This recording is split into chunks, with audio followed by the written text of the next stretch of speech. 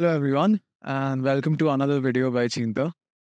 I am Rajdeep, and today we'll be looking at problem number 22 from IOQM 2024. So let's get into it. So, in this problem, we are given a right triangle ABC with the right angle at A. Right, let's see what else the problem says. D is a point on BC such that AB plus BD is equal to AC plus CD. What that means is that D is such a point on the hypotenuse which divides the perimeter into two equal parts. So if we see, it would make sense that the point is closer to C than B because, well, AC is bigger than AB. And this is just based on what we have, we've drawn here. It's also given that BD to DC is 2 to 1.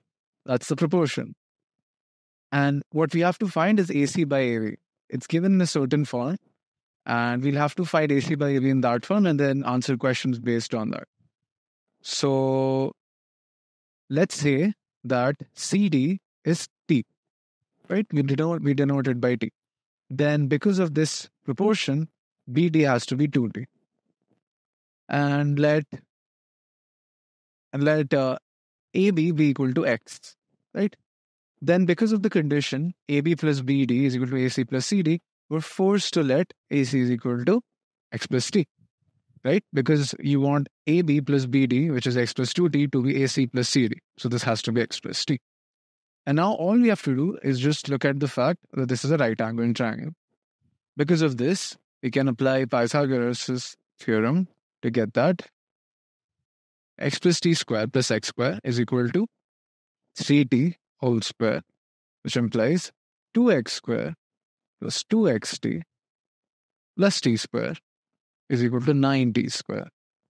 If I write this as 8t square minus 2xt minus 2x square, what we have is essentially a quadratic in t.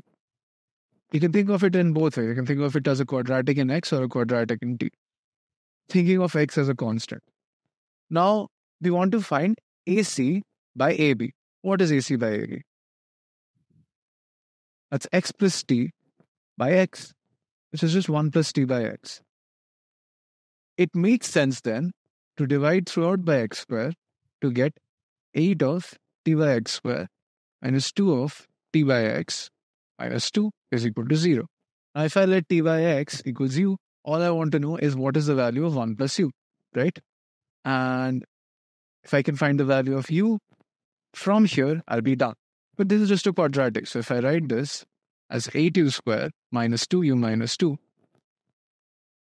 which is just 4u squared minus u minus 1, is 0. And if I just use the quadratic formula here, it's perceivable that I'll get something that looks like this. Right? So let's just quickly apply the quadratic formula. We get that u is 1 plus minus root over 4 square, which is 16, square root of minus 1 square, which is just 1, minus 4 into 4 into minus 1, whole divided by 2 into 4, which is just 8. We have 1 plus minus root over 17 by 8. It's clear that u cannot be negative, right?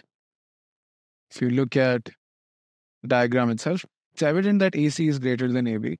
And so this ratio is greater than 1, and so u has to be positive, right? So we get that u is equal to 1 plus root 17 by 8, which implies that 1 plus u is equal to 1 plus this thing, which is just 9 plus root 17 by 8, if you look at the conditions imposed on Mn and P in this form, we want them to be rel- relatively prime and P be a prime number. If we go back to our form for 1 plus u, which is AC by A, we use exactly what we want. 9 is 17 and 8 are all co-prime and 17 is a prime. So our answer is 9 plus 17 plus 8, which is 34. And that's the answer. So I hope you enjoyed this video. Thank you for watching. Have a good day.